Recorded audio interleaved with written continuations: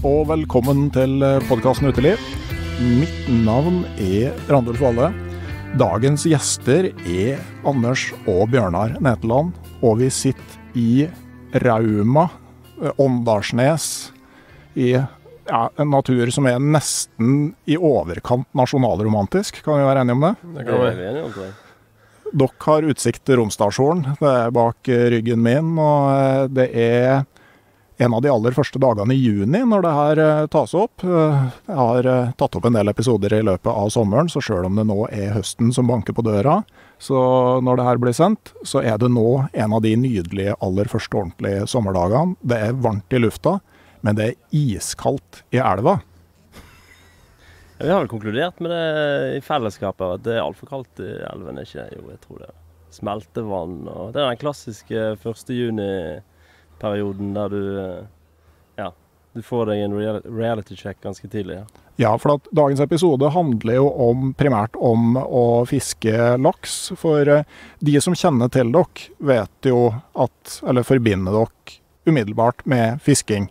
Hvis man da ikke forbinder dere med alpint. For dere har jo, eh, har jo en alpinkarriere eh, å se tilbake på begge to, ikke sant? Jeg tror egentlig ikke vi skal se begge to. Det er egentlig Bjørnar som har uh, alpinkarrieren å se tilbake på. Jeg eh, ga, meg, ga meg tidlig. Jeg, eh, Vi har to kretsmestere her, så begge Ja, ja. har en uh, det er for så vidt riktig, det. Men eh, nei, jeg ga, meg, jeg ga meg tidlig, og så har jeg egentlig vært trener mest. Mm. Så er Bjørnar som er alpinisten. Det er litt kult å ta opp det, for jeg blir jo ofte omtalt i, uh, i fiskeverden. Der jobber jeg også nå, i Elveguiden. Så hvis jeg møter folk rundt om i Daler, så 'Å ja, du er han alpinisten, du'. Og så Mm. var det ofte sånn i alpinverden. 'Ja, du er han der fiskeren, du'. så det går begge veier. da. Ja, og du, i, i enhver verden så er du liksom knytta til noe annet enn det Ja. du driver med akkurat der. Ja, tydeligvis. Ja. Nei, men jeg ga meg i 2019, jeg. Mm. Men du kjørte VM, ikke sant? Ja. Ja.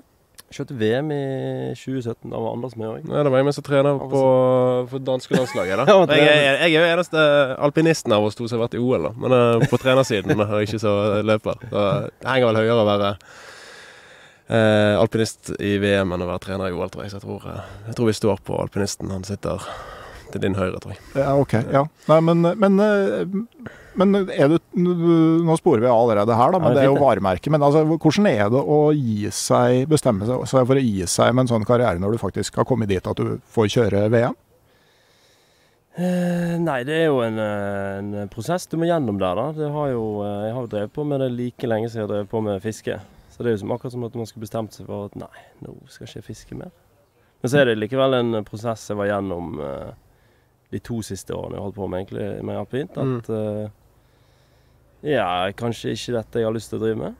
Og så var jeg jo heldig og fikk lov å avgjøre sjøl. De fleste er jo enten at de skader seg eller ikke blir tatt ut på lag. Jeg var jo skadefri og kom på landslaget for en ny sesong. Eh, og I tillegg til jeg hadde noe som heter fiksspot i verdenscupen. Altså jeg kunne kjøre alle verdenscuprenn, som jeg hadde klart å kvalifisere meg inn på i, på nivå nummer to.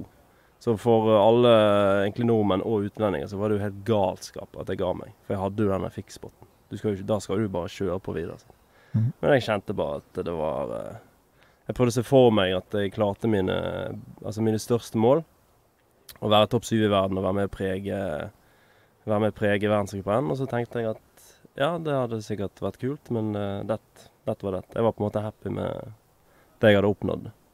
Og da er det veldig fint å ha denne lidenskapen som jeg har her, da.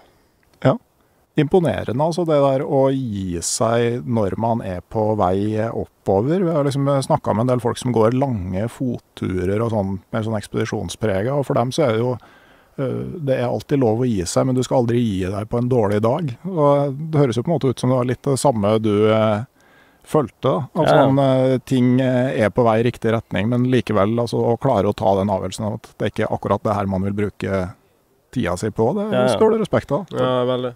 Veldig. Og det vanskelige i den prosessen de siste månedene før man uh, tar den avgjørelsen, er jo alltid man veier opp. Oi, faen, tenk hvis jeg sitter om seks måneder, og så er det Så har jeg jævlig lyst til å være i Chile eller New Zealand. Men så går, må man bare gå all in og sagt, dette er avgjørelsen, og så stå i det. Og jeg traff jo. For da høsten kom, så satt jeg og filmet uh, gytende sjøørret i Aurland og var dritfornøyd med det. Så mm. da var det på en måte greit. Ja, Tøft. Mm. Nei, for vi sitter jo her nå tidlig i juni, og, og dere er jo blitt kjent for, eh, for fiskefilmer. eh, Laks, sjøørret. Nå er vi altså tidlig i juni, og jeg tenkte litt på det her at eh, altså dagene 31. mai og 1. juni det er liksom et eller annet sånn interessant med hvordan de Altså, de har veldig sånn forskjellig verdi i de fleste laksefiskeres hode. Jeg tenker 31. mai er dagen før sesongen starter for de aller fleste. Og jeg tenker at det er liksom den store euforiske optimismens dag. Mm. ja, det er, jeg, det, er jo, det er jo tre dager siden det nå, så du kjenner jo litt på det. At det er liksom denne når du sitter i bil på vei og du ringer folk og 'hvor skal du hen', og 'vi skal der', og vannstanden ser jo alltid helt perfekt ut og litt synkende. Og så får jo deg ofte en, eh, en liten åpenbaring, eller en liten eh, check fra 1. juni der, at eh, ja. Jeg syns det er veldig interessant at det er sånn. Jeg er jo skrudd sammen litt sånn. Det er jo egentlig kjedelig. Vi driver og snakker om det der ofte. Overterningen og alt. Men uh, vi vet jo at 1. juni er vanskelig. Vi er 100 klar over det, alle sammen. Men det er jo selvfølgelig alltid et lite håp om at det skal være helt Texas-bonanza. da. Men uh, det skjer jo aldri, for det er kaldt i elven. Mm. Det er eh, ofte sånn at uh, storinnsiget av fisk ikke har kommet. ja. Du vet alle disse tingene. Men så er det jo overtenningen som slår inn. Og det er jo ofte som med alle naturopplevelser man har. Sant? Altså, man har en på en måte man, Jeg tror vi bare er rett og slett ikke så veldig realistisk. Altså Så 1. juni, da, hvis skal liksom Hvis det ikke er den store euforiens dag, så er det vel kanskje selvransakelsesdagen da, for de fleste. For det, at, eh, det er jo svært sjeldent at det blir helt sinnssykt. Ja, Det, er jo, eh, det, det skjer jo nesten aldri. Og jeg tror at for det meste av sånn litt sånn tålmodighetskrevende friluftsaktiviteter, litt sånn som å dra på langtur og sånne ting, altså det der med å klare å ha selektiv hukommelse er en veldig er viktig egenskap. At du liksom klarer å huske eh, de, det som er svært, og så må du på en måte glemme det der fra hvert år til det neste for å orke å gå på på nytt, tenker Ja, jeg. er vi der? Jeg, nei, jeg, jeg, jeg, tror jeg er helt motsatt på det. Jeg tror at, eh, at uh, hvis du uh, Det er ikke for å liksom brenne ned eh, alt her, men uh, jeg er litt der at hvis du Hvis du vet Altså 1. juni er krevende. Og Skal du få laks 1. juni, da handler det på en måte om å jobbe, det handler om å kaste, det handler om å bli kald på pungen. Og det, altså det, hele den prosessen der. Men, men det er jo sjelden veldig bra. Men så kommer du ut i sankthans, sant? og så får du en regnskyll. Og det, hvis folk hadde hatt den driven som de har 1. juni da, de, de hadde fått så mye fisk, vet du. Sant? Men da har vi liksom fått roen, vi har fått noe fisk, vi tar det lugnt. Sant? Men da tenker vi sånn, hvis du liksom ser Det er jo ikke bare det å få laks som er viktig, da, men det er jo greia å få oppleve det når det er sånn virkelig bra. Nei, det er jo det, Det, som da, eh, jeg tenker Hvis du ikke har selektiv hukommelse, hvis du husker akkurat det du skal, så er det de dagene du ikke sover. Vi- Hvor mye har du sovet nå? Jeg sover masse, jeg. Du sover masse. Ja, men jeg er jo litt der at eh, Jeg har jo rundet 30 nå, så jeg begynner å bli gammel. Så jeg kjenner litt på at eh, før så var det sånn at du fikk ikke fisket du første, andre, tredje, fjerde, femte juni. Og så har du fortsatt denne samme driven. Nå, etter første sveip her i Rauma, så var det Ja, Det var sånn det var. Men jeg, jeg prata med Øystein Aas i en episode for en, i fjor, og han sa jo tvert imot at det var etter han hadde vært småbarnsfar at han blei virkelig effektiv på laksefiske. For han, da var han så utrolig vant til å fungere på fryktelig lite søvn. At det var da han begynte å komme seg opp klokka fire og ta morgenfisk og sånn. Det var først etter at han hadde fått uh, unger. da. At, Jeg føler at min bror aldri har sovet mer enn han har gjort Nei, etter han ble far. Jeg. Jeg har jo en tre måneder En jente på tre måneder nå. og nå eh, Jeg har aldri sovet så mye fra 1. til 3. juni. Det tror jeg ikke. Funnet roen. Funnet roen, rett og slett. Funnet roen. Uh, nei, men fungerer på lite søvn. Ikke det lystbetont, da? Jo, det er til en viss grad. Uh, gamle turkompisen min Bengt Rotmo bruker alltid å si at uh, når du våkner liksom Han var veldig stri på at du alltid skulle sove partall timer, da. At vi, for at du er mye trøttere sånn i oddetallstimer når du står opp, ifølge han. Uh, og så skal du, når du våkner og må opp, så skal du kjenne på at nå kjenner du virkelig at du lever. Ja. Og liksom det verker i kroppen og gjør vondt å stå opp, så skal du bare kjenne på det. Nå, Altså, nå, nå altså, kjenner du at du lever. Det høres fin ut, den interessen vår. egentlig. Nå. Så, Men jeg har fått mer og mer uh, drive enn juli og august, egentlig. Mm. Og så har jeg- det litt med at jeg har fått mer tenning på sjøørret òg. Så junifiske er kult, og det er litt sånn nostalgi i forhold til uh, det vi har holdt på med i Naustdal i alle år, og i Lærdal for så vidt, og i andre elver. Men uh, jeg har litt den roen at ja, ja, det blir, det, det blir kult i juli-august. Men det er jo litt spesielt å være i Rauma. da. Nå Ja. er det Mm, åpna for helt ordinært vanlig fiske. Du kan kjøpe Mm. fiskekort og tasse ned i Rauma og fiske, og det er vel omtrent første gang på 40 år. Ja, det er jo helt uh, sprøtt. Og det er jo litt uh, derfor man er her på åpningen. Det er jo ikke fordi at Rauma er en tidlig elv og det er mest laks her 1.6. Vi har jo til og med sett støvinger i går. Det, var, det ble jo tatt en støving, så det er jo veldig tidlig. Men det er jo å få lov å være med på dette her, da. Det ble jo skutt opp litt fyrverkeri klokken tolv her 1.6. Det er jo stas for hele Det er jo stas for hele Lakse-Norge, egentlig. Ja, og Det er jo en suksesshistorie. Ja, visst, visst er det det. Og så Ja, For de som ikke vet, altså Rauma som elv var ramma av lakseparasitten Gyrodactylus salaris. En av de første elvene som eh, fikk det, og har i praksis vært fisketom siden tidlig 80-tall. Mm. Og, eh, og har gått gjennom rotenonbehandling. tre ganger, vel. sant? Tre ganger, ja. Og endelig suksessfullt. Og Mm. parasitten er borte, og laksen er tilbake. Og du kan stå og titte opp på både Trollveggen og Romsdalshorn mens Mm. du fisker laks. Mm. Det, det kjenner jeg på når jeg står her nå, da. Sånn i forhold til Altså, vi vet jo Jeg tenker vi vet alt. Vi vet disse tingene som du sier nå. Og så vet vi litt om Vi vet litt for lite om elven siden det er 40 år siden. Men vi vet jo at det er en sankthans på en måte er merkedagen her. På samme måte som det er i Naustdal. sant? Eh, men den er vel kanskje enda senere enn Naustdal, og dette vet vi jo. Så da er det jo bare å ta naturen for det den er, da. Mm. Og eh, i forhold til å stå opp om morgenen, det kan jo være tungt det, men du vet jo hva du får. sant? Så når eh, solen liksom begynner å jobbe seg rundt hornet Du får jo en hel Altså, aspektet der i laksefisk òg, det, er jo- det er jo egentlig nok. Det er jo helt spinnvilt der om morgenen. Det er jo fantastisk det å være ute på andre tider av døgnet enn det du er normalt. Altså bare den, Å få være ute om sommernatta, og her er det jo freding eh, Ja, den, er om natta. den, er, den er litt kjip nå i disse dagene her med 25 grader og vi sitter i skyggen eh. Uten klær og spiller en podkast nå, liksom. Det er, det er kjipt å ikke få Det er kjipt å ikke få det nattfisket, da, men det er jo en fredning. Og det tenker jeg skal vi eh, både se verdien i, at man ønsker å begynne forsiktig og de tingene der. Sant? Men eh, jo, det er, en, det er en stor verdi. Men sånn, altså, de nettene i juni, sommernettene i juni nå, de er jo ren magi. Mm. Tenker jeg. Eh, For det er jo lys, du kan fiske hele natten hvis du har muligheten til det. Du, altså, det er jo da du ser naturen for det den virkelige, er, tenker jeg, da. Ehm, kontra midt på dagen. Sant? Da er det ofte litt uh, roligere. Men uh, Når jeg tenker junifiske, så tenker jeg uh, Naustad 2007. Det året når det var så spinnvilt mye tert. Husker du det? ja, det husker jeg. Da var det 20 tropenatt to dager på rad. Og så var det bare i denne hølen som vi fisket inn fra vi var bitte små. Så var det bare det blinkte i hele hølen. Og så var det T-skjorte, og det var lugging, og det var helt bonanza. Jeg tror Anders hadde noe makketak og sikkert oppi Ja, nei, nei, var, det, ble det jobbet godt med makkene. Det var i 2007. Ja, det var rett før vi sluttet med denne. Ja, Ja, ja. jeg tror det. Det er det jeg tenker på når jeg tenker junifiske. Og det er jo det, det, de nettene som er helt, eh, helt magiske. Jeg tenker jo på eh, Tanavassdraget midt i juni med snø langs elva og snø i lufta og høl i vaderne på kneet. Som du, som du ikke merka om høsten fordi det var lite vann og vannet var varmt. Og dårlige lisser. Så de ryker når du skal stramme til. Ja, det, det vil ikke se bort fra det heller. Det, eh, men, eh, men fint det òg. gode, li- gode lisser i dag, da. I dag var det gode lisser. Ja, mine sko. Men, men der òg, når, når du da får være der og opplever faktisk at i løpet av den uka du ligger der, så kommer sommeren. Ja, Mm. Det blir grønt, og, og der er det jo virkelig lyst døgnet Mm. rundt. Mm. Så det, det er er supert. Ja, vi har, vært, vi har tatt oss opp nå i det siste, da. Ja, oss opp i fjor. Ja, jo, jo. Skikkelig nord. Hva er det du tenker på som nord? Ja, den er kanskje ufin. Den. Vi var jo, nei, jeg var jo for så vidt i Alta i fjor, da. Så Ja, det er jo ganske bra. Det er Det ganske bra. Ganske, jeg tenker den må kvelde. Men uh, Nordland nå tenker jeg er nord.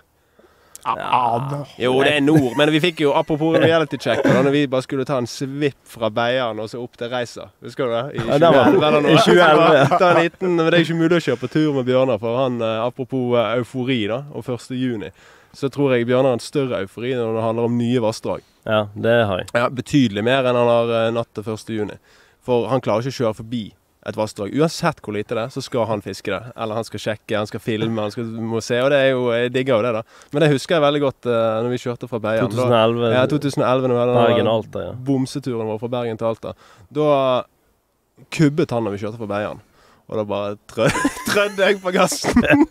Kommer du forbi flest mulig Ja, det var forbi flest mulig sånne småvassdrag på veien opp da. Og da hadde jeg, da hadde jeg en tanke om at Jeg skulle- hadde jo notert på det kartet vi hadde Ja, ja. oss på butikken. At dette her, Der må vi der stoppe, der må vi stoppe, der stoppe. der må vi stoppe. Jeg var, banket var rett uh, Eibyelva. jeg. Sideelv betalte. Stemmer. Ja, skulle fiske storlaks jeg, da. Våknet jeg, så var vi, for, var vi kjørt forbi alle gode elvene, så jeg hadde ringet ut. Sjanseløst. I fjor så fiska jeg eh, laks både i Mandalselva og i Sandfjordelva, som renner ut helt lengst nord på Nordkinn. Er. Så det var eh, fin spennvidde. Men Var det for å, for å gjøre det, eller var det tilfeldig? li, litt tilfeldig. Jeg tenkte på det etterpå, liksom. At eh, det, sånn, hm, det her var en ganske grei, grei spennvidde. Mm. Ja, den er fin, den. Mm. Uh, Mandalselva var forresten veldig fin. Ja, Mandalselva, men den er, Mandalselva er jo fin. Ja. Vi er der vi er for dårlige. Vi er, vi er dårligere i sør enn vi er i nord. Jeg har aldri Jeg sier, pleier å si at jeg har ikke fisket sør for Uskedalen, men det er feil, for jeg har fisket i Suldal. Jeg har ikke fisket sør for Suldal.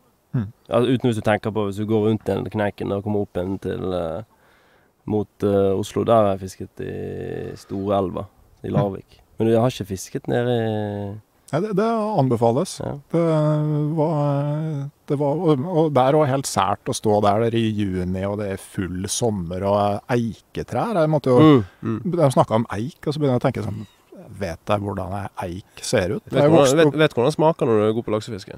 Ja. men eh, jeg er enig med deg. ja, sånn, jeg jeg er oppvokst i ei fjellbygd på, på Østlandet og bodd i Trøndelag og Finnmark. Bare, så er det sånn, jeg har aldri kan ikke ha noe minne om å ha sett noe eik. Jeg har ikke sett eik før. Nei, så, så det var, det var Mandal. Jeg føler jeg tenker, da tenker jeg litt sånn eh, Det er jo ikke hummuselv, men det er litt sånn skjær igjen, ikke det? lite grann, ja. Ja, Litt sånn knekken og sånt. Det er, det er, Men, eh, men veldig bra riflingfiske, ja, det er jo sier dem. Det er jo en av de store, det der Mandal. Altså, Ja. er jo Ja, de har fått litt fisk der nå. Ja, veldig, veldig bra. Nå prater vi oss veldig bort, da, men dere hadde jo eh, sånn med å starte på ei elv som har hatt Gyrodactylus, så hadde jo dere noen fantastiske opplevelser i Lærdal da den åpna. Ja, Mm. det var vel spinnvilt. Det var galskap. Det er jo litt det man øh, Vi kan ikke slippe Rauma helt heller, sant? men det er jo litt det samme som skjedde i Lærdal. Det var jo en lang prosess. Det var jo siden 97, og så åpnet de vel i 2013. da. Eh, så det er jo 15 år der. Og sånt. Så det er jo, de hadde jo for så vidt noe sjøørretfiske, men man merket at det var på en måte samme stemning der det første året de skulle, skulle åpne. Der begynte de litt roligere med at de hadde seinere åpninger. Ja, som jeg Der var jeg god. der var. Anders veldig god. Grunnen til at vi endte opp i, på Eri i Lærdal i 2012, 13 og 14, var jo at eh, Anders hadde sett på noen gytefisktall fra gamle dager. Jeg satt og leste, jeg. Jeg satt og leste det jeg fant av gytefisktellinger, i forhold til hvor det sto mest fisk. Og så eh, lagde jeg meg en sånn prioritert sånn Excel-liste, da. og så bare begynte jeg å ringe. Og så plutselig, jeg vet ikke hvordan det skjedde, da, men han på Eri han greide å lire av seg. Ja, nei, eh, åpningen er det ingen som har tatt ennå.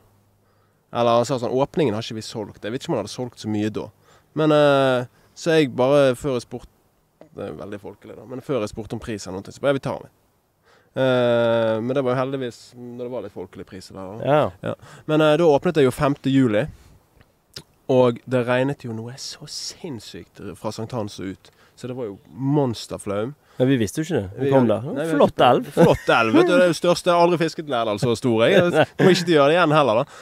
Men uh, vi hadde ikke peiling på elven, hvordan det var. Vi hadde ikke, altså, vi hadde ikke snøring. Aldri vært der før. Uh, sinnssyk, sinnssyk vannstand. Ja, han har jo vært det. Og vi har jo for så vidt vært helt oppe Ja. i der en gang mens han var stengt. Men uh, det var det bare Altså, det var noen sånne forhold som det er Akkurat de dagene der, det er sånne forhold som du drømmer om. Da, men da var det eufori. Da, Da var det eufori. Da, da hadde vi tenning. Da hadde vi virkelig tenning. Men da eh, 2012-13, nei, det, Ja. det har ødelagt meg. Det. Jeg Ja, tror er derfor jeg kan sitte her nå og ta det helt med ro. Ja, jeg tror det egentlig det, ja. Men Ja, fikk, det var vi, liksom- fikk, vi fikk så mye laks. Det var helt latterlig. Ja, for det var liksom flere storlaks på første runden over Det var helt meningsløst. Ja. Altså, det var helt latterlig. Det var helt spinnvilt. Jeg kan ikke forklare det. Men de der filmene som vi har lagd, det, det, de, altså det er jo vanskelig å lage eh, laksefilmer og lakse, altså lakseaction, for det er jo veldig sjelden action. Men der var det, det er jo ikke sant. Jo, jo, men får, hvis, du stå, hvis jeg skal stå og filme deg i Rauma i fire dager, det er jo litt seigt. Jeg får få tak. Ja. Ja, du, ja, det kan du prøve, hvis du vil. Men det er ikke noe Det er ikke vits i å bruke tid på. Det er vanskelig, ja. Men når du får de der eh, Når du treffer på de der altså, For det er jo Hvor mange tak hadde ikke vi på tape Jo, jo. når vi var ferdig med det der? Ja, for det var jo på en måte Her er det fisk. Her smeller det. Liksom. Det er bare garanti.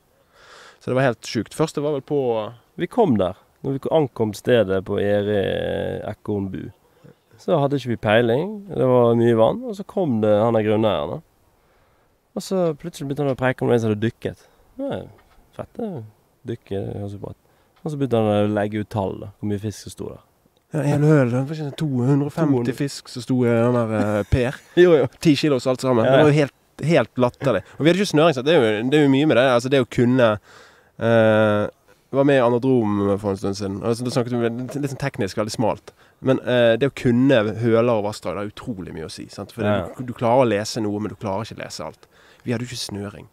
Men det, altså det sprutet jo opp fisk. De syntes 2013 var helt spinnvilt. Ja, og så fikk man jo samtidig litt sånn eh, smaken på reetablering i Bolstad samme året. Ja. Og Vosso. Mm. Og så bare begynte å renne opp 10 kilo. Det var første året jeg fikk 10 10 kilo, så var jeg i 2012. Og så kneik, knak, knakk over den kneiken der, og så begynte det bare å renne, renne inn. Det var ikke bra. Nei, det var ikke det, var ikke det i det hele tatt. For Voss, Voss og Bolstad òg er jo eh, Altså reetablerte Reetablerte stammer, det er jo spesielt å fiske på. Det er jo nostal nostalgi i det òg, da. Men uh, Ja, og så stammer som har vært helt nede, men, Ja. eh, men er kommet tilbake igjen. ja. De får jo denne boosten at man skal eh, Ja, at det produseres i kar og på klekkeri, og så gjør man, gjør man gjerne det ekstra og kanskje sleper ut i tillegg. Så kommer du jo unaturlig i gåseøyne mye fisk tilbake. Og Mm. det skjedde jo i begge de vassdragene i de årene. Så da fikk man oppleve kanskje smakebiter på det som uh, far og bestefar snakket om på 70-tallet. Mm. Og det er jo litt sprøtt å tenke på. Men det som er sprøtt, er at når du forklarer det, så snakker du om unaturlig høy mengde fisk tilbake igjen. Ja, Det er jo, det er sånn i forhold til hvor vi har, Ja kom, hvor vi har kommet, liksom. Sant? Altså, da når vi virkelig Altså, naturen trenger så mye drahjelp, og når vi gjør det og får oppleve dette her For det her er jo sånn som de opplevde ofte. Du snakker om sykt fiske. Naustdal på Flaum etter etter sankthans på 70-tallet. Ja. Fikk jo 50 fisk om dagen, en mann, liksom. Og gikk det med makk langs landet? Bare Det er helt sykt. Mengder. Mengdene, sant. Mm. Uh, så Og ikke minst i Rauma. Ja. Mengder. Ja. Det her er jo en av de store på Vestlandet. ja, ja. Som vestlending så får, ah, du har jo Vi er på en måte fornøyd hvis vassdraget bikker 4,7 km. Da er det jo stor, stort vassdrag, og her snakker vi jo 40. Mm. Så det er mange grunner og engasjert oppover dalen her. Og de har vi jo møtt i dagen her. Både de første generasjon som aldri har opplevd laksefiske her. En av de hvalene vi fisker på nå, er jo, er jo en eh, relativt ny generasjon som er 30 år. Mm. De vet ikke, de har ikke opplevd dette før. De vet ikke hva det innebærer. Jeg syns det var en veldig fin symbolikk i at de da fikk et barn Ja. Første på 1. Jeg juni fikk- på jeg åpningsdagen. Det, det, det er da en som da faktisk er vokst opp med laksefiske i Ja, elva hele sin Ja, levetid. ja. Hele livet. Ja, Hele er livet. Ja, To den er bare å notere seg, faktisk. Men, eh, men de eh, filmene som dere slapp, sånn som fra Lærdal og den fasen der, var det liksom der det, dere begynte med å produsere video? Nei, det er ikke riktig. Nei, nei, nei. nei. Eh, første som du liksom lagde, det er Bjørnar som lager. Dere produserte video. Jeg fisker jo bare, jeg. altså, det er jo en dynamikk mellom oss når han var alpinist. sant? Det er jo de årene jeg har fisket desidert mest. Virkelig mye. Og så har det vært en sånn skadefryd involvert der på det, da, fra min side. Jeg skal være ærlig på det. Men eh, det er Bjørnar som redigerer. Første du virkelig redigerte, det var da vi var på Grønland. Grønland 2007. 2007 var vi på Grønland. Jeg hadde perm fra militæret for å reise til Grønland. Det var helt strålende. Vi har fisket røye. Mm. Det var, var, det, var, det var siste året på ungdomsskolen. Jeg skulle begynne på skigymnas på Geilo i alpinkarrieren. Og pappa hadde jo booket, det var jo pappa sitt show, dette. Han og onkel som hadde booket Grønland. Og jeg kom fem dager for seint til, til NTG på, Gei- på Geilo. Og det, pappa hadde dobbeltbooket litt. Så det, vi var der en uke på Grønland. Vi er oppe i Ikke i nærheten av å vite hva vassdraget het, men det var i hvert fall også en del litt, litt sånn uh, opplevelse man eh, behagelig sitter igjen med. En urørt dal. Mm. Uh, hvor mye fisk kan det være i et vassdrag som vi ikke har tuklet med? Ja. Og ikke minst uh, sjørøyene som bare spruter opp i isvann. Ja, i, i noen sånne sinnssyke mengder. Ja. Grønland var- er fantastisk. Også, Ja. Det, Ja, men det, det er jo litt sånn For å sette ting i perspektiv, hvis vi snakker liksom om fiske, sant. Eh, det er jo ingen av oss som har lyst til å rykke fisk på noen slags måte. Og det skjer jo Det kan skje i Norge òg, på laks. Hvis du fisker med tunge liner osv., med flue, men det skjer ikke så veldig ofte. Uh, det gikk et jordras der, så det ble helt sånn leiregreier første dagen vi kom. Ja, det. Så det var helt sånn svart. Og det sto jo så mye fisk. Men du så jo ikke de. Og så eh, far hadde med seg en, en synkeline, husker jeg. Den stjal jeg. Og så eh, For du måtte ned, sant. Så da var det liksom Idet du hev på synkelinen, så begynte du å få litt fisk. Og så tenkte jeg men enda lenger ned. Så fisket med synkeline og splittagger foran fluen. Men det måtte du bare gi oss med. Hun krøkte jo så mye fisk. Ja, det gikk ikke. Altså, det gikk ikke an. For det, det, altså, det sto så syke mengder. Og det er jo tenk tilbake en urørt der borte. Tenk, altså, tenk lakseoppgangen her i, før, liksom. Altså, det, var, det var jo sånn det var. Men det er sånn med Grønland, altså det, det er jo fiskere, eller fluefiskere kjøper seg jo gjerne en sånn ferdig pakke når man Mm. skal til Grønland, men det er faktisk ganske enkelt å fikse sjøl. Ja, Ja. jeg skulle til å si det. Flybillett eh, kan Slusvåg og, eller, og videre til sånne småplasser. Du kan ta lokalbåt rundt omkring, og, og det er jo røye på de utroligste plasser. I s- Mm. Stor røye på to, tre, fire kilo i ja. bitte små bekker. Men ta med, ta med blytunge fluesnører. Ja. Første gangen hadde jeg kun med flyt, andre gangen kjøpte jeg en sånn der eh, blyfortom Ja. som, eh, som jeg kom ned med. Ja. Nei, jeg skulle ikke til å si det, for det er vel eh, det er alt er vel statlig, så det er vel 500 kroner for årskort, eller ikke noe sånt? Ja, noe sånt. Det er vel noen elver som er begrensa. Jeg er ikke helt Ja, sikker på ja. hvordan det der er, men det er i hvert fall plasser det. Og du kan bare gå på fjelltur, som i Norge. Det er jo veldig sånn Mm. viddeterreng. Vi hadde jo jo, vi var det, vi, gjorde. vi ble sluppet av i utløpet av en elv, og så gikk vi opp. Mm. Det er fett. Med bestefar og familien og full pakke og god stemning. Og, Ja, det var gøy. Det bør vi gjøre igjen. ja, det, det, men det har, vi snakket, det har vi snakket om i ti år. Å gjøre det igjen, Ja. Men det var vår første filmtur. Og så fikk vi litt eh, blod på tann. Eller jeg fikk det. Og så i 2009 så hadde vi noe som heter Boms på Vestlandet. Og det her, alt dette bør jo lages ferdig, vet du. Vi har jo så mye kult. Men det som vi virkelig bør gjøres noe med, er Bergen-Alta, som vi var innom i sted. I 2011. Da vi kjørte fra Bergen, og eh, selvfølgelig, som vi sa i sted, jeg skulle fiske alle vassdrag på vei opp. Men Jeg, der, jeg eh, skulle i de store. Jeg, ja, ja. og der målet var Alta, for da hadde vi fått oss kort i Raipas da med, med far. Den er veldig fin. I august. første gang jeg noen gang har søkt. Eneste gangen. Første eneste gang jeg har søkt. Ja, den Ja, fin. det- kort. Den er skal ha stygg. litt flaks Ja, den er stygg. Den er kjempestygg. Jeg jeg har fiska Alta, en eh, studiekompis som inviterte alle til å være med å fiske i Alta. De fleste skjønte jo ikke verdien av det de ble invitert til, men det gjorde jeg. da.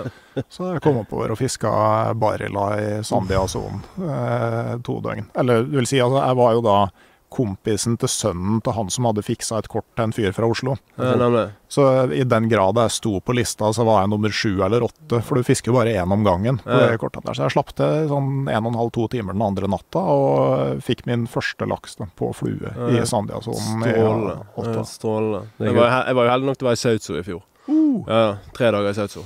Mm. Det er jo helt sykt. Jeg fikk ikke den inviten. Jeg vet ikke hva som skjedde. Jeg ble mistet i posten. Mm. Livet kan være knallhardt. Og, Livet kan være brutalt. Jeg tipper jeg var i en kjørete elv. eh, det var faktisk konkurranse, det. Det la du ut på Instagram, tror jeg. Aurland VS Alta. Ja, stemmer. Jeg var i Aurland. Jeg var fornøyd med det. mm. Kjekt. Men, men etter hvert altså, så har jo òg de øh, den filmjobben tatt en, øh, en litt annen retning. da. Altså at Dere har jo lagd, lagd TV-program, annet, Mm. som har fokus på mer enn på en måte bare fiskeopplevelsen. Ja. Vi har jo begynt jo eh, Det er jo Brødrene og Gruvefjorden du sikter til der. Det var jo et prosjekt som ble startet av at vi fisker jo det vassdraget som ligger nærmest der eh, det er planlagt et uh, gruvedeponi i Førdefjorden, og det er jo Nausta. Så vi hadde jo en eh, personlig historie der ganske tidlig, og så var det noe som trigget til at vi skulle grave litt i det. da. Og da begynte vi rett og slett å intervjue folk og ha fokus på det mens vi fisket òg, da. Og prøve å liksom fortelle den historien. Og det utviklet seg i et år og ble endt opp Ja, det begynte, jo, det begynte jo veldig enkelt, for jeg bor jo der. Sant? så jeg eh, har jo flyttet opp der. Eh, så det begynte jo egentlig veldig enkelt, husker jeg. Vi satt eh, på terrassen hjemme. Og så Altså, det med sånn fantastisk eh, flott utsikt til Førdefjorden osv. Så, videre. så preket vi litt om det. Så det var jo tanken at vi skulle lage en sånn der ti minutts Facebook-greie. Ja, for å skape engasjement. Ja. For å liksom lage litt blest om dette her. For det er jo ingen som altså, Det har jo vært en del i media, men det er jo ingen som virkelig har satt seg inn i hva, det, hva som skal skje. Sant? Så det begynte jo med det, og det var jo du som holdt på. Og så Mm. bare så vi, eller jeg bruker vi, jeg, deg sikkert, men at, det fortjener så mye mer. da. Og da begynte prosessen. Og den prosessen har vært eh, Den har vært for så vidt artig, den, men egentlig blytung òg. Ja. Jo mer du finner ut om det prosjektet der, jo, jo verre blir det jo, egentlig. Mm.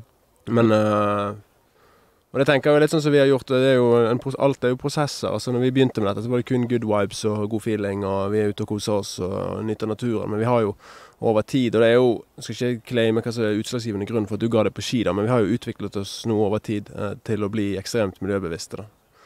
Og bevisste av eh, ikke det å bruke naturen, men hvordan man kan nytte naturen uten at naturen har det verre etterpå. på en måte. Så det har blitt en sånn driver for oss begge, da, uansett hva vi driver med.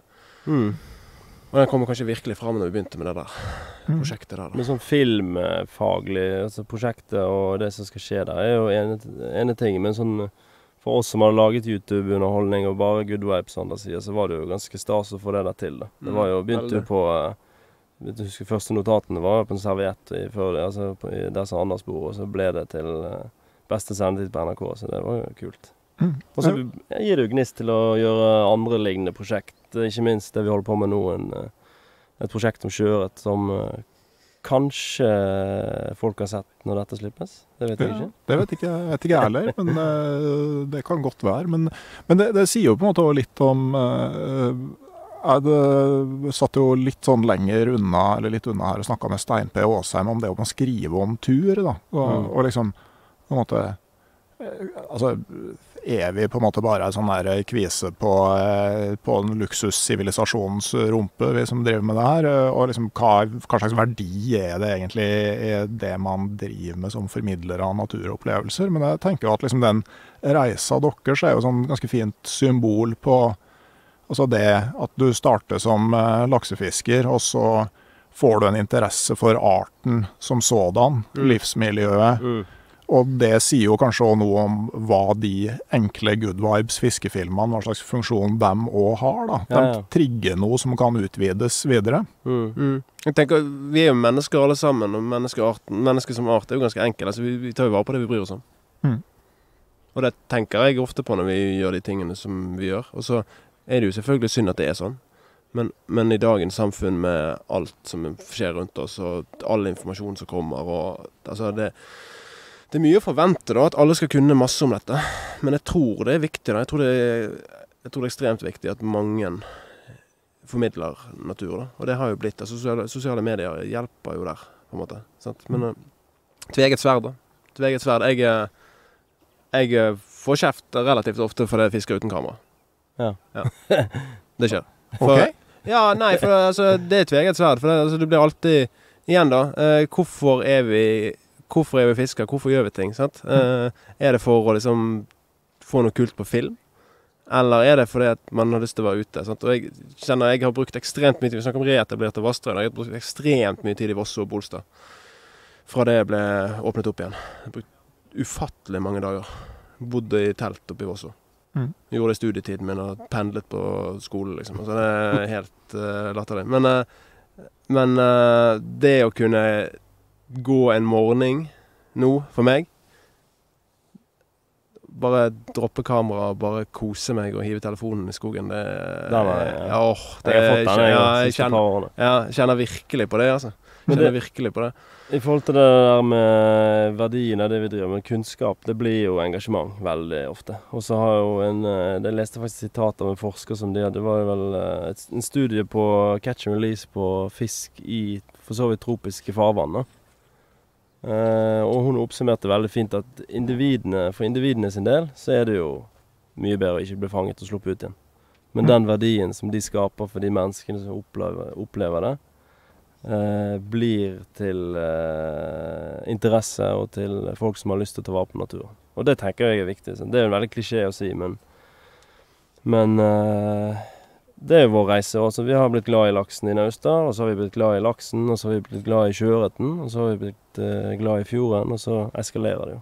Mm. Og så har dere jo to fine sånn uh, YouTube-videoer om to gudinner, som dere kaller det. Ja. Fortell. Vi har uh, det begynte, begynte det med Vosso, eller begynte det med Naustdal? Det begynte vel med Vosso-gudinnen. Det, er jo- det er jo en holaks, dette her, gudinnen. Og det var vel eh, så enkelt som at i Vosso så har man jo eh, Tagger man jo fisker man fanger, enten det er i fjord, fjordsystemet på forskningsnot, eller oppe i vassdraget. Så fikk jo Anders en fisk som hadde en tagg i seg. Og da kan man jo begynne å tenke og spore tilbake og finne ut eh, Oi, hvor har denne fisken vært før?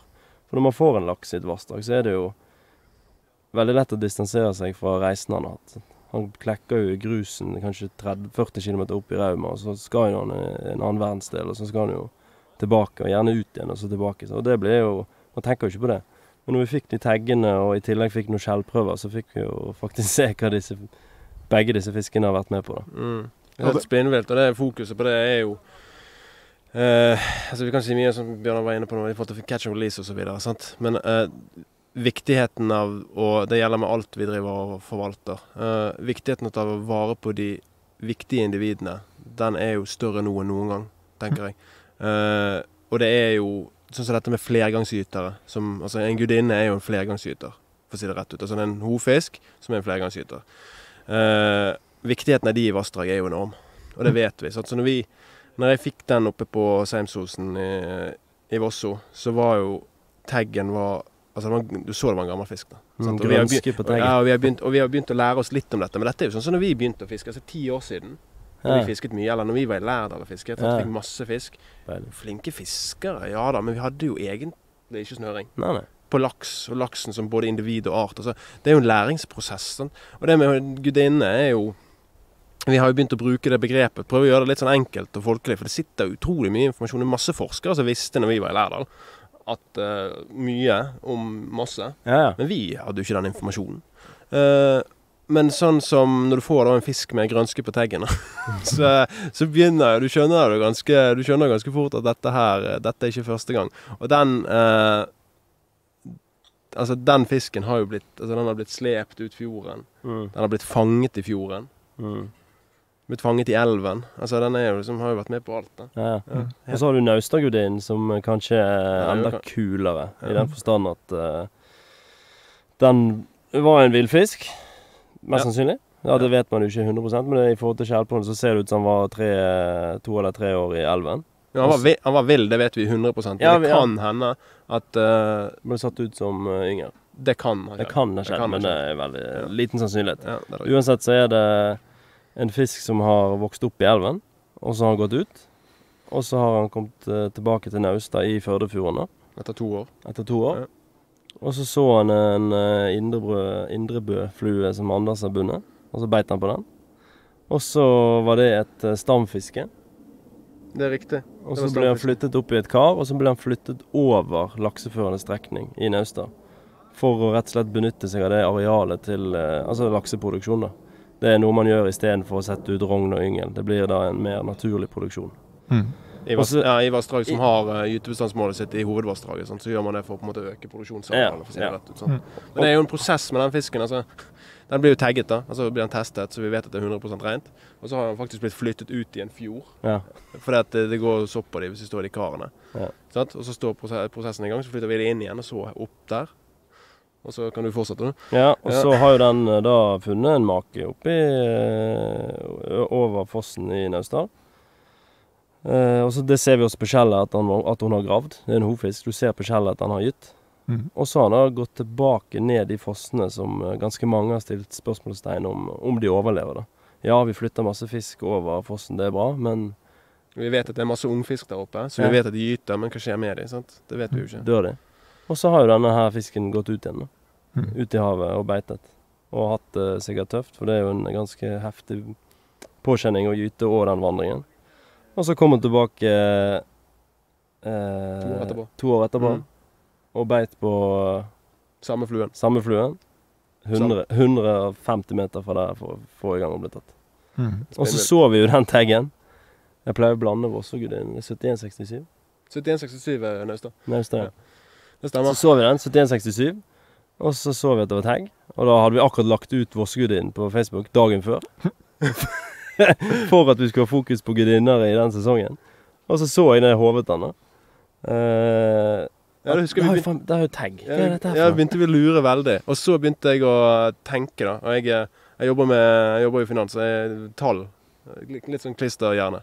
Så begynte jeg å tenke, og så husker jeg vi sa det i bilen på veien bort. Jeg tror vi brukte 71-serie på fiskene våre. For vi lurte på kanskje det var fått et annet vassdrag eller noe sånt.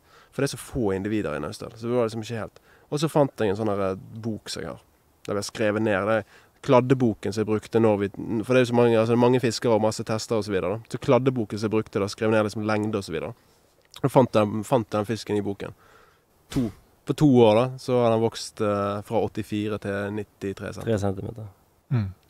Og så satt dere den ut igjen. Satte den ut igjen. Så banket han opp fossen, og så var det en som fikk han eh, på Var det makk? Makk Jeg eller fikk det slug? på makk oppe i Hovefoss. Ja, eh, fossen over. Mm. Og det var, da jeg sjekket i ettertid eh, vannstanden fra vi satte han ut til han ble tatt. Og det har egentlig vært litt over det brannfakkel, det lokalbefolkningen sier at han kan vandre fossen på. da. Så han har jo bare kostet opp. Ja. Type med en gang. Ja, hun har bare banket på. Så ble hun middag, hun oppe i dalen. Ja, ja. Ja. Det blir. Men, men eh, jeg husker da jeg sjekka fangststatistikken, så ble den fisken veldig mye mindre på de eh, få dagene som gikk fra du tok den til den ble tatt neste Ja, gang. det, nå tror du prøver å provosere meg. Det tror ikke jeg er tilfellet. Men det er lov å Han var, han var, eh, han var, han var halvannen centi kortere. Nei, ikke sant, men vi- kilo, Ja, kiloestimatet var gått fra sjutallet til sekstallet. Ja, den er fin. Ja, ja, Tynn, slank gudinne. Vi er dårlig suppe. Det er ja. dårlig, det. Dårlig, det. Men eh, jeg skal ikke ha på meg at han var ti centi kortere. Det gidder- jeg ikke. Han var litt eh, kortere, men vi har jo alltid operert med Nei, fra Lærdal-tiden så har vi operert med tiere og åttere og femmere. mm. Og det er liksom alt En, eh, en på 90, mellom 97 centi og 103 centi, det er en tier. Ja. Og så har vi liksom klassifisert det nedover. For det- er jo interessant at eh, sånn etter man begynte med fang og slipp, så er det veldig få lakser på 19, et eller annet som Ja. blir registrert. Mm. Altså Det er ikke sånn, så mange på 8,63. men eh, jeg så Nei, men 19,1 får ikke du noen av den er 20, den. Ja, det var det jeg mente. Ja. Når, du slipper, når du slipper den igjen. Ja, sånn, ja. Det var Ja, ja. han, eh, Jan Erik Granbå, han heter. eh, som fikk Som nå registrerte en på 19,1 som var sluppet ut igjen. 122 centi. Nei, Noe sånt, 120. Og det, det er veldig ærlig, tenker jeg. Ja, absolutt. Mm. Fine. Jeg hadde, nei, når, hadde, du jeg hadde i, scalet den litt opp. når du kommer i størrelsen her, så tenker jeg det går jo på senter. Men vi har jo det tiere, og så har vi åttere. Det er sånn eh, par 90 Og så har vi spesialisering. Ja. Det er min spesialitet. Det er sånn spesialitet. 2,5 Så Det var bare, det er kun det jeg fikk før Lærdal. så da var det spesialisering. Og så har vi vel sild. Det er alt under uh, Liten tert. I Naustad så har, blir, får du terter på sånn 700 gram. Mm. Som bare biter, og så står de og rister på hodet. Det er sild.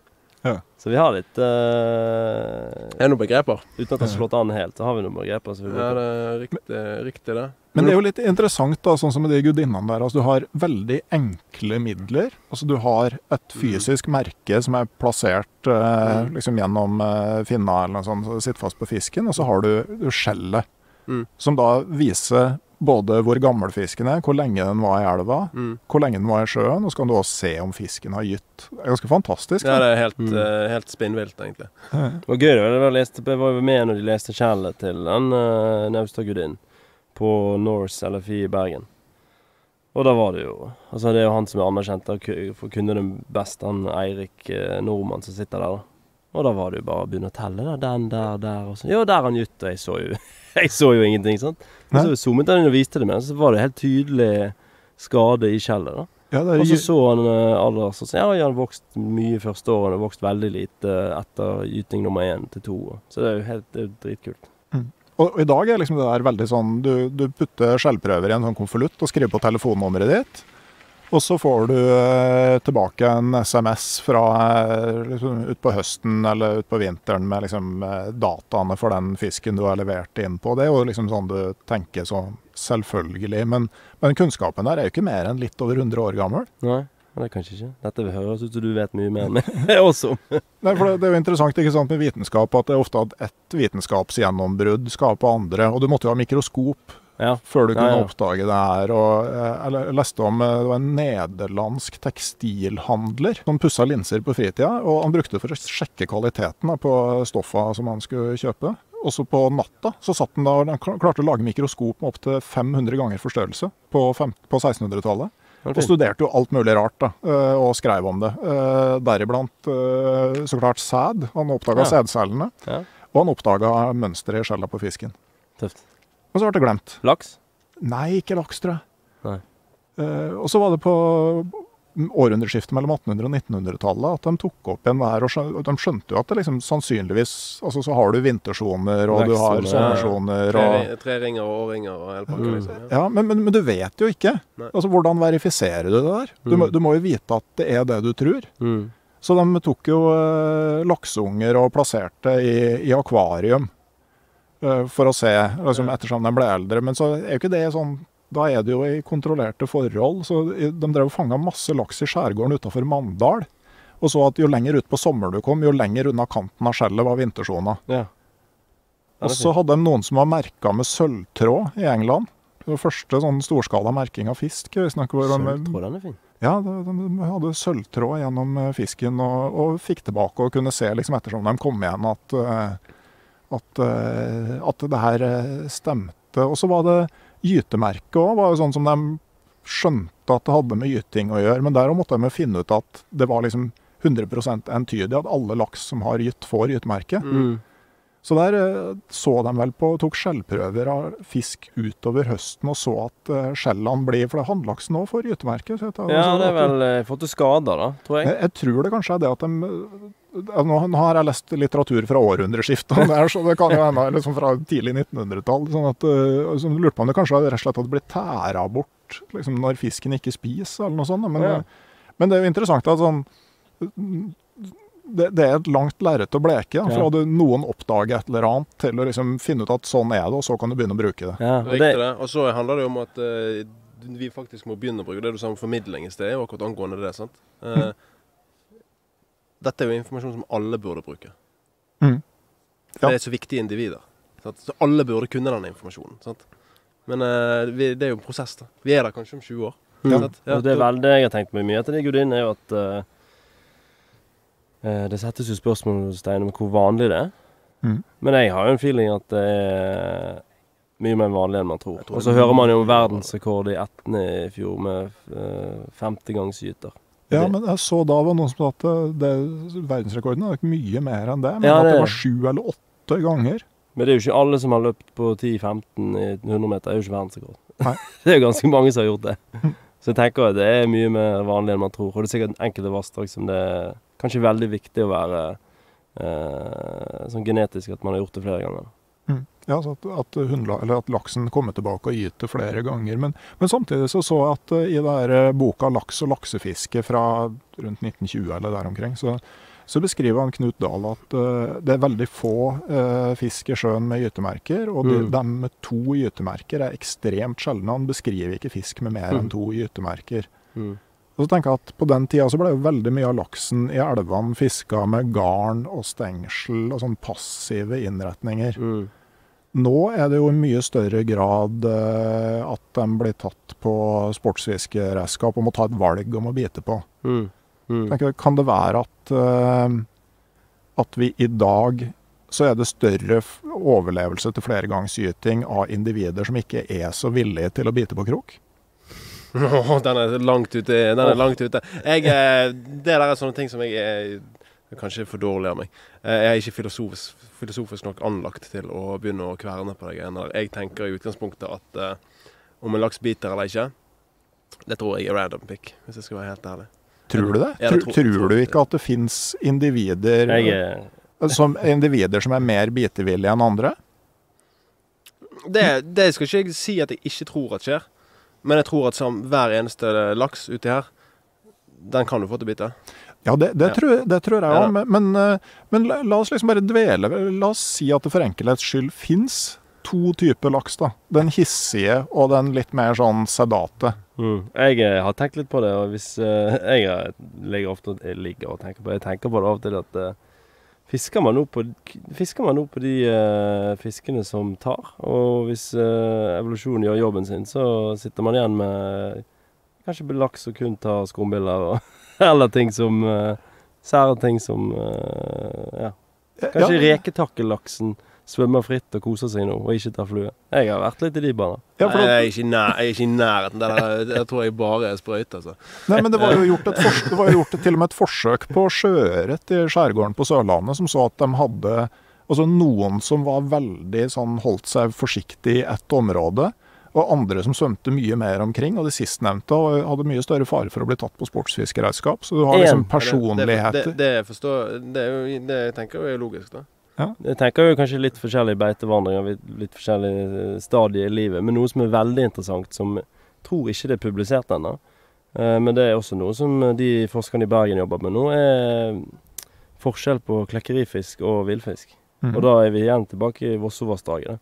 For der har man merket en del eh, fisk med de samme teggene som vi snakket om i sted, men også eh, lyttemerker. da. Og så har de sett lyttebøyer opp gjennom hele vassdraget.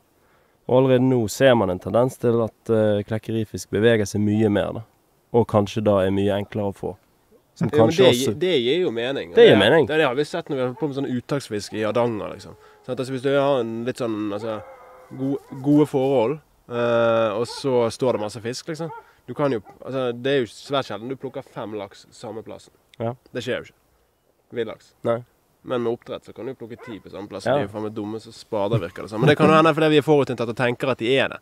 Men uh, Nei, jeg, det, den er langt ute for meg, den der. Altså, jeg tenker at all laks ute i elven kan ta på et tidspunkt. Og så er det spørsmål om når kommer han, uh, og hvor eventuelt Jeg tror ikke nødvendigvis at fisk ja, Det er mye, da. Jeg tror kan ha like mye å si hva type altså, fisk Hvor fisk stiller seg. Altså Enkelte fisker er lettere å få til å ta på bakgrunn av hvor de står, mm. enn andre. Så, så de, at det er et eller annet parameter her, men at det er eh, Oddgeir eh, Laks, andregangsgyter eh, på syv år, at han absolutt aldri tar, mens Kåre som står ved siden av, alltid tar. Det tror jeg ikke på. da, Men hvis de to fiskene står på to forskjellige plasser, så vil du kunne få han en plass, mens du ikke får han en annen plass. Mm. Tror jeg, da.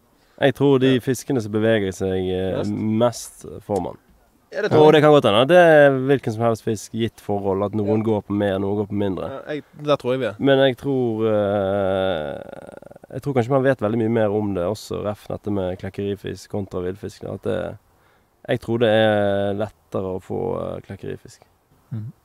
Den har jo i Det hvert fall sier du bare fordi at største laksen min er klekkerifisk. Ja, det gjør jeg jo. største laksen min er villfisk. jeg, jeg tror at eh, det var lettere å få laksen til å ta før.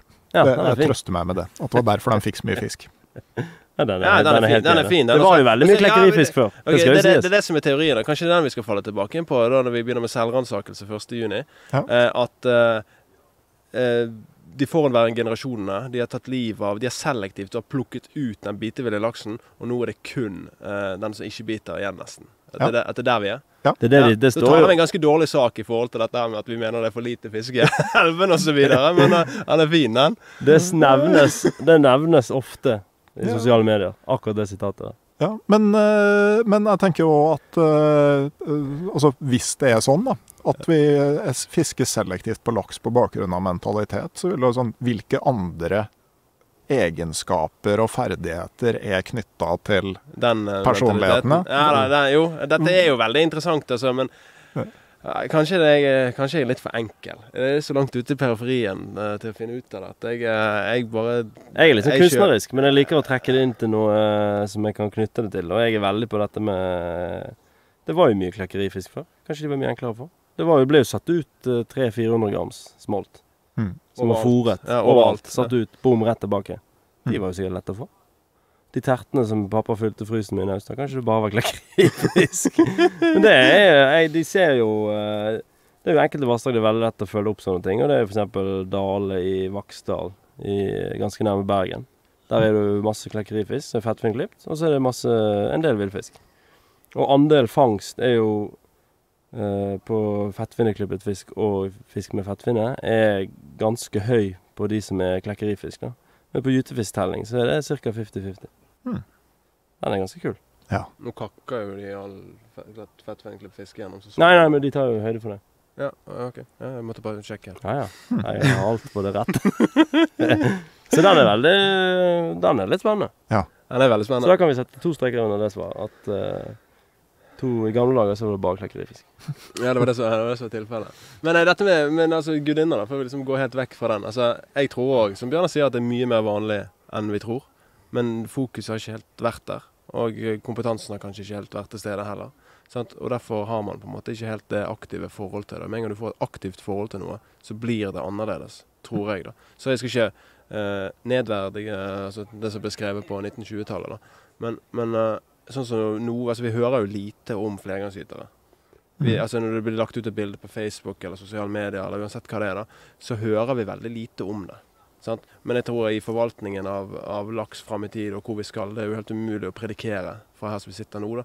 Men, men uh, forskningen er veldig tydelig på verdien av disse fiskene.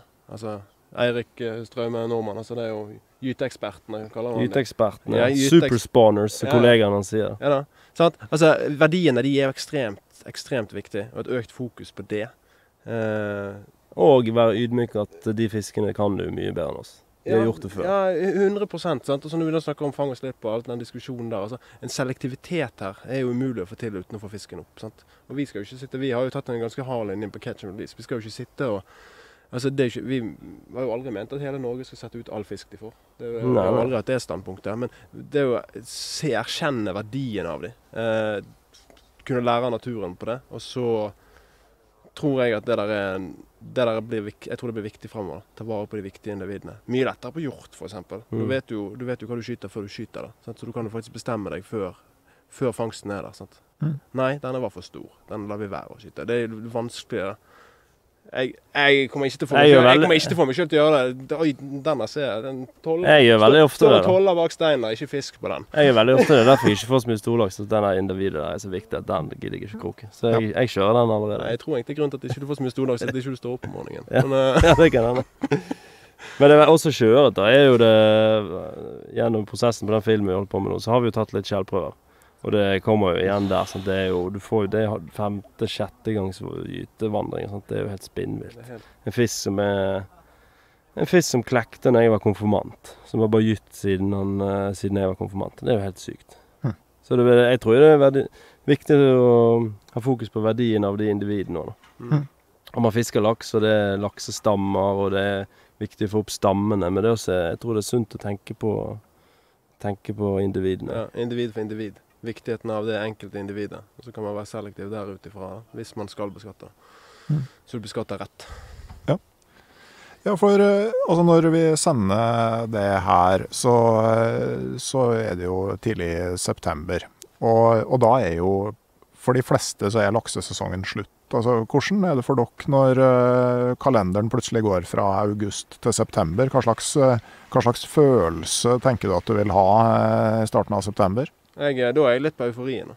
OK? Ja, faktisk. For eh, jeg eh, eh, Jeg vil ikke ha spørsmål etterpå, da. Men jeg blir ofte spurt hva jeg setter høyest over laks og hjort. da. For jeg har jo utviklet meg over tid nå til å bli en ekstremt, ekstremt ivrig jeger. Og det er jo òg en stor grunn, del av grunnen til at jeg bor der som jeg bor. For å lære, leve nærmt hjorten. da. Så da Da er det hjortefokus. Så eh, for fem år siden så Da fisket jeg ut hele august. Men nå blir det noen reinsdyrturer når det åpner òg. Så, jeg, eh, så jeg har liksom jeg har, Det følger på, da. Ja. Så sånn sett så er jeg eh, heldig der, da. Du slipper mm. å kjenne på den der når det slutter. Han eh, Jeg tror kanskje nesten du er mer euforisk da, bror. For da begynner du å filme på gytefisk. Ja, da begynner jeg å finne ut hvor jeg skal være når det er fiskesex i bekkene. Så jeg er der. Men eh, nei, det er vel eh, Jeg fisker vel ut september, nesten. jeg. Ja, Sjøørret, da? Eller? Sjøørret og eh, gjerne Så blir det jo ofte noe uttaksfisk på noe oppdrett i Hardanger eller noe sånt. da. Ja, det gjør, vi, det gjør vi begge. Det har vi jo gjort masse. Ja. Ja. Eh, det er jo både gøy og trasig samtidig. Mm. Og så er jo oktober da, og så er det jo gyting. Så da er jo en eller annen back sikkert. Mhm. Prøver å finne ut av noe. Og det er jo noe som kan anbefales for de som ikke er fiskeinteresserte. Altså gå ut og se, enten det er ørret eller, eh, eller laks. Mm. Se på gytefisken i, i elver og bekker. Det er fascinerende. Runder Det er 15. oktober, du får litt regn, og den det er sånn nedgående, bare finne seg en bekk da som er i nærheten av sjøen.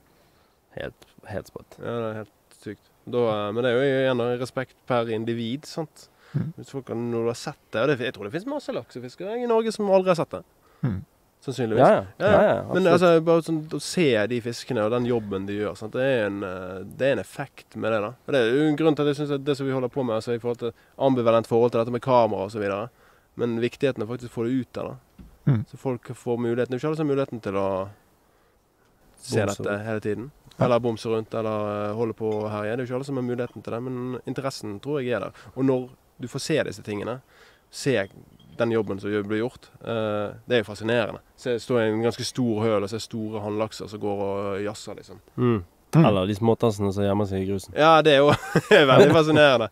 Jeg tror du hadde vært gytepar hvis du hadde vært laks. Jeg hadde det. Jeg har gyte på. Mm. Er. Gytepar er jo hannlaks som gyter uten å ha vært i sjøen først. Det Stemmer det? Ta det Gytepar is, er-. Ja. Gytepar er hannlaks som har uh, ikke vært i sjøen, men som gjerne kan være like gamle som de uh, fire kilos hannlaksen som kommer opp. da. Og så Ja. ligger de ofte og lurer. Jeg har hatt masse film med det. Ligger de ofte og lurer. Helt sprøtt å se på. Og så ser de, så en eller annen grunn så vet de akkurat når det skjer. Mye bedre enn den hannlaksen, for den ble jo lurt mange ganger av holaksen til å begynne å jazze seg.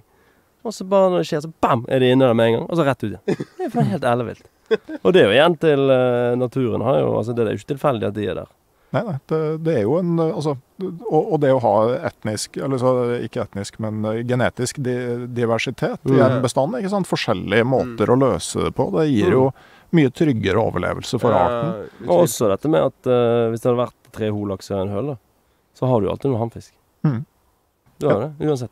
Ja, det var det, Knut Dahl skrev òg, at liksom det virker som en sånn der sikkerhetsforanstaltning fra naturens side. At sjøl om du bare returnerer én hu hunnfisk, Ja. så har du hannfisk der allerede.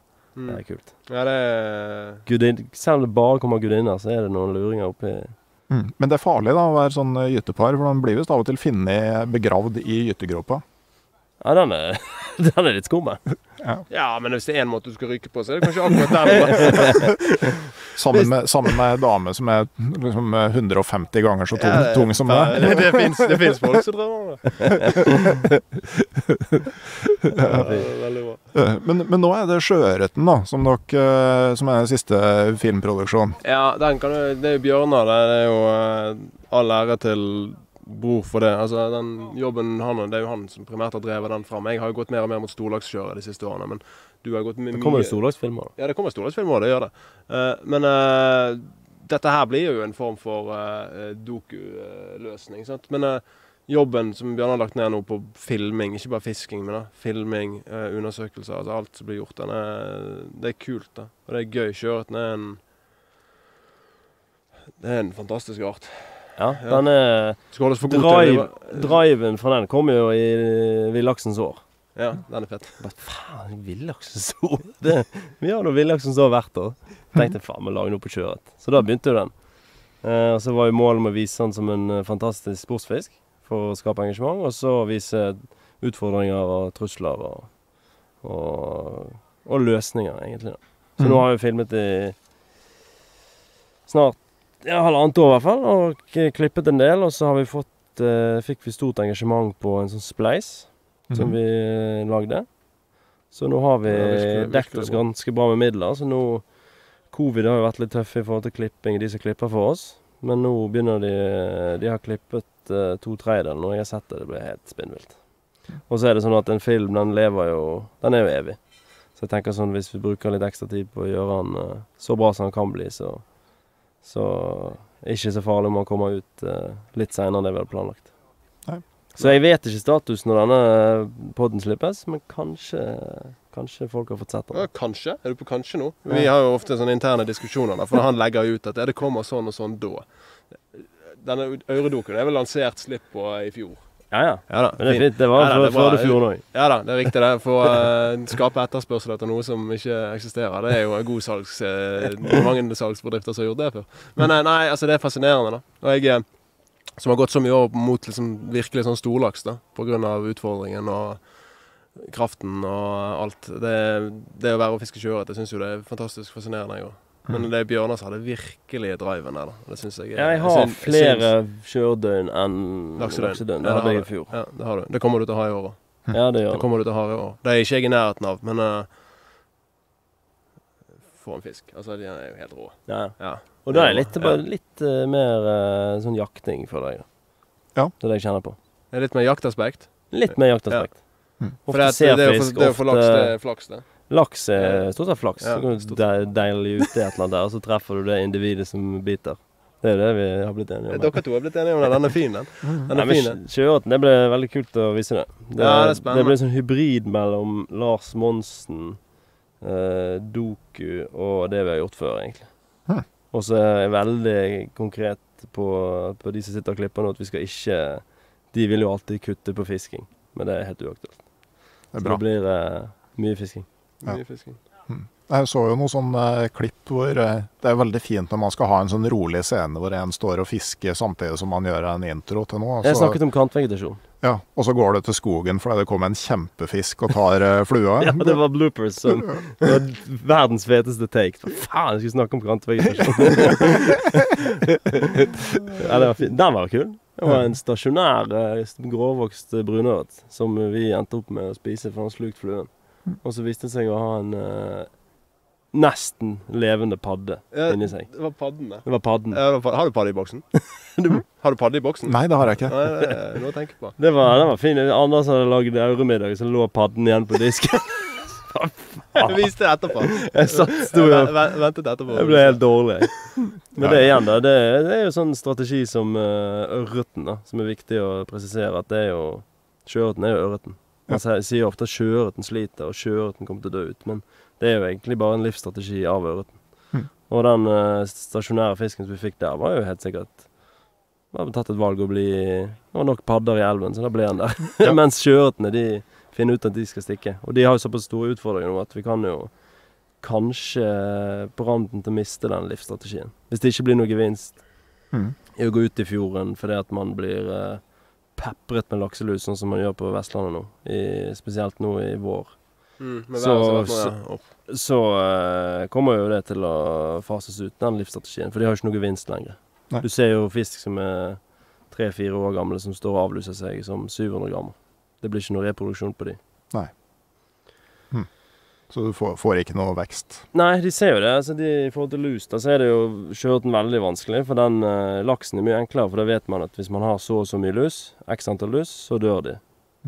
Som smalt. Som smolt. Ja, Mens sjøørreten eh, vandrer ut i fjordsystemet. Og så sier jeg at den er jo mye smartere. Så den stikker jo tilbake til ferskvann eh, for å opprettholde saltbalansen. Ellers så tørker han ut. For han får jo sår på seg. Samme som laksen. Og der mister detter jo lusen av. Så det er jo ikke sikkert sjøørten dør. Eh, kanskje han dør av soppangrep av å stå i ferskvann. Eller så dør han av sårene. Men han kan overleve. Men det som skjer, er at han vokser jo ikke. Nei. Så de studiene som de har gjort i HI det er veldig spennende. Da ser de at eh, en del dør, men ganske mange overlever. Men de vokser ikke. Så da blir du som en stasjonær ørret i eh, hvilken som helst innsjø. Sant? Mm. Da har du ikke det fortrinnet når du kommer tilbake til eh, gyteplassen.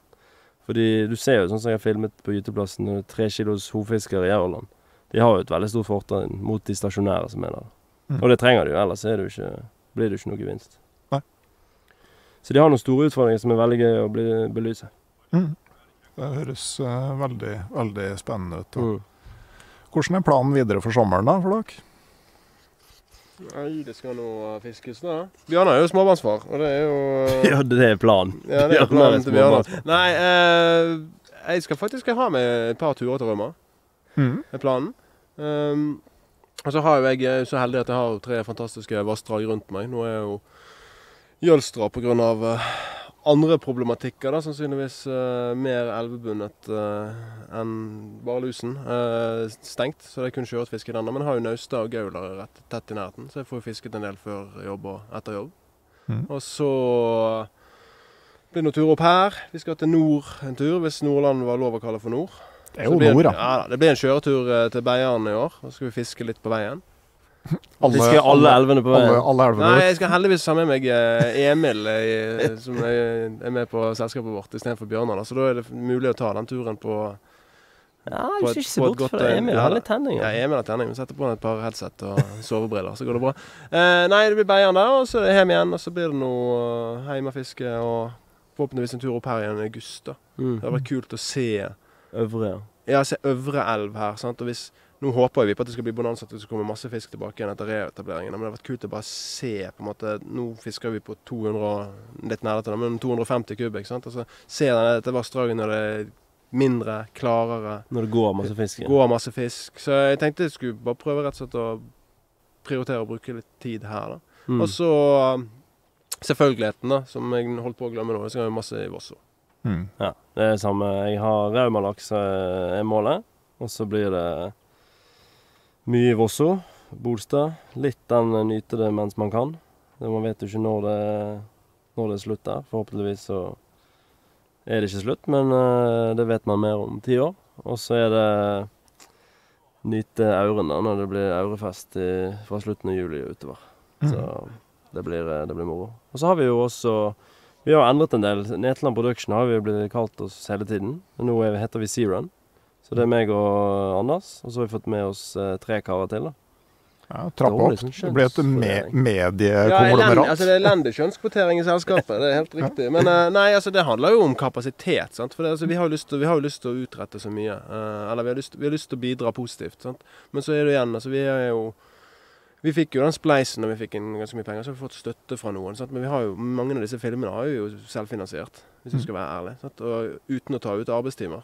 Eh, vi har ikke tatt ut lønn på noe, så det er mye en stor grad av selvfinansiering. Men nå har vi lyst til å bidra altså kunnskapsformidling, ja, men òg andre ting i forhold til tiltak og den type ting. Vi trenger folk som er engasjert, som har de samme verdiene som oss. da.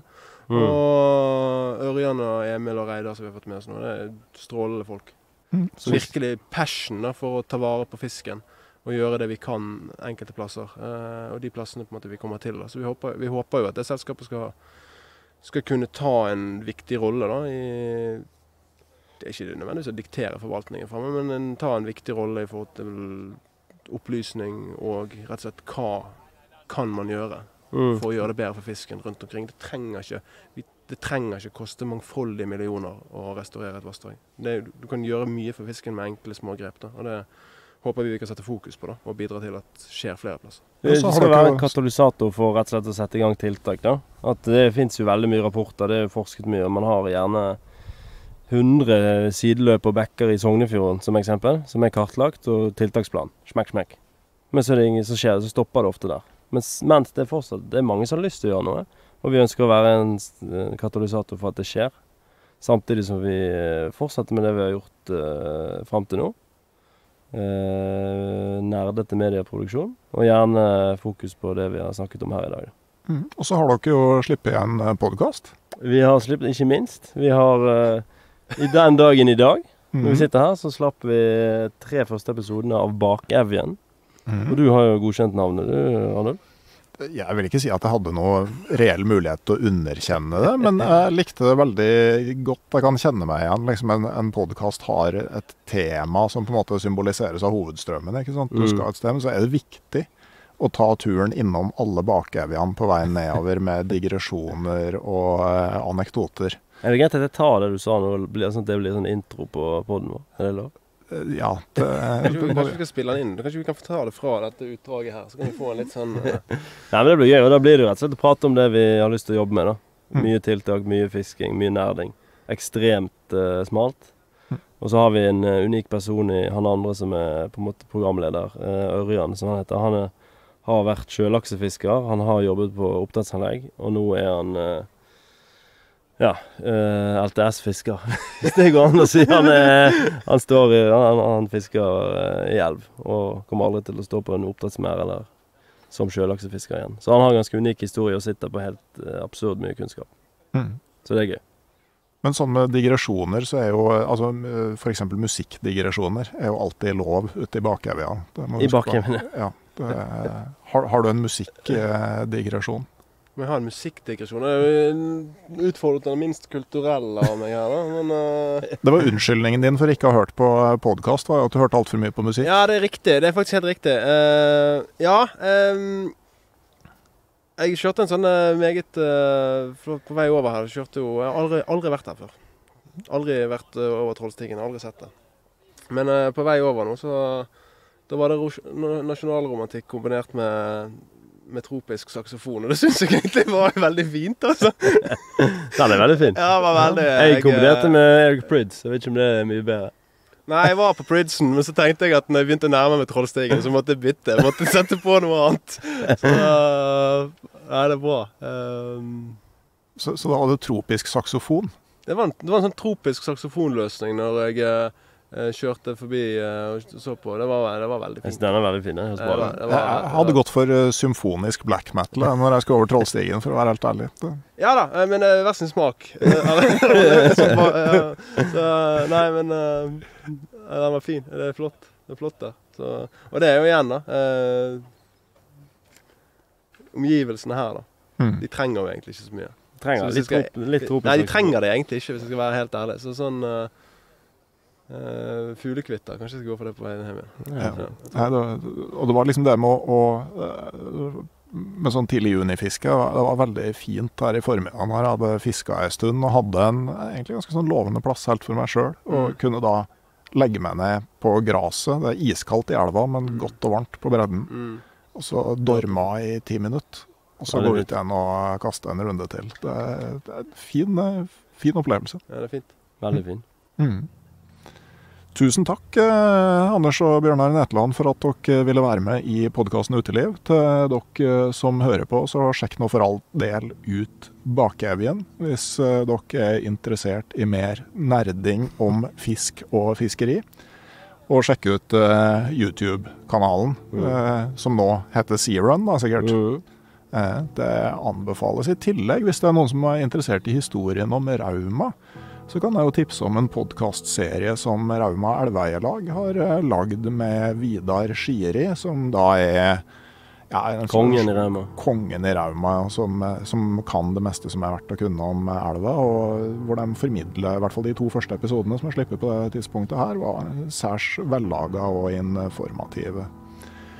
Og så kommer det jo eh, da nå som vi er tilbake i normalt gjenge med ukentlige episoder, så kommer det en ny episode av podkasten Uteliv om ei uke. Da skal vi snakke om å planlegge det virkelig store villmarkseventyret i Alaska og primært Canada. Så kan dere jo lure på fram til neste fredag hvem som blir gjester da. Ha det bra!